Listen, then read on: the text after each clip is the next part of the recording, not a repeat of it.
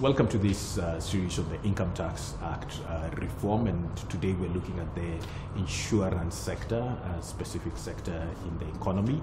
Uh, with me today is Simeon Cheruiyot, who's a tax partner at PwC, and uh, we're also privileged to have James Njogu, who's the group tax manager for UAP Old Mutual here in Kenya, and I'm Titus Mukora.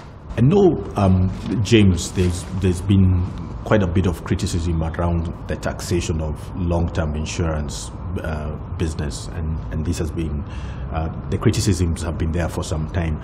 Um, what what exactly are the problems around taxation of the long-term insurance business, and what what what should we kind of be seeing in this space um, in the new Income Tax Act? What what would you like to see?